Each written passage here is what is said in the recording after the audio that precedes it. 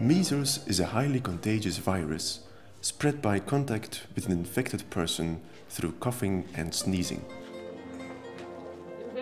The disease weakens the immune system and opens the door to health problems, such as pneumonia, blindness, and diarrhea. Some children with measles die.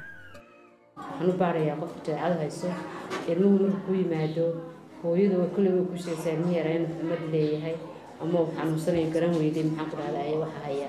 Marka waxa weeye ilmaha calaamadaha lagu garto waxaa ka mid ah waa inuu yeeshaa qof marka hore fever waa inuu yeeshaa waa inuu cough yeeshaa waa inuu yeeshaa red eyes oo kale ama red nose kale waa inuu yeeshaa.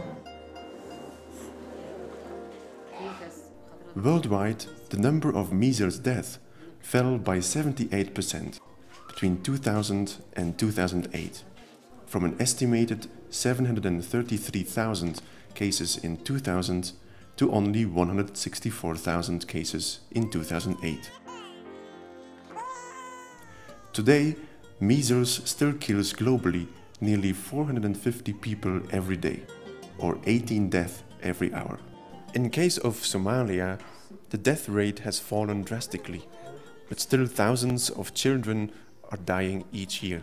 Actually, they are decreasing. The trend is decreasing. For example, uh, from uh, before two or five years, they're going to be, you know, 200,000 measles cases, something like that. But now they are decreasing to, you know, very small cases. So that we have, for example, 1,000, something like that, in a year. Measles is one of the leading causes of death among young children, even though a safe and cost effective vaccine is available.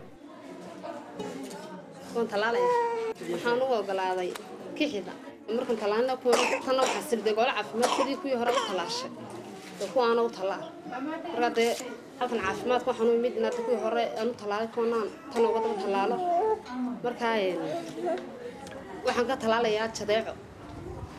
waxaan ka kale waxaan ka shubanka dee intaa caafimaadkaasu dhumaan u talaalaya ciyaalkayga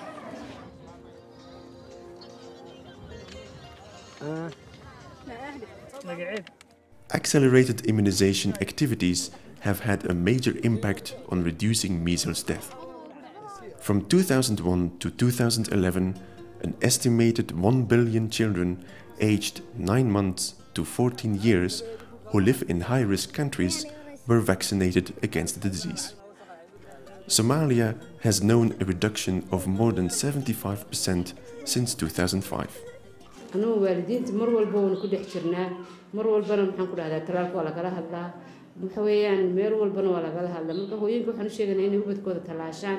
Ilmuhu markuu dhashay uu gaadho afartanka gaadho talaalka caadiga ah rootiinka ee waa inay timaadaa. Marka ilmuhu waa inu talaal qaato weeyaan hooyo xafla talmada Samples of suspected measles cases from across Somalia are collected and confirmed by the laboratory investigation units in Hargeisa, Garowe, and Mogadishu.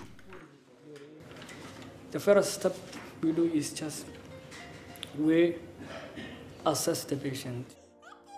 Most of the patients are child, so we assist them. So the second step just to take the sample.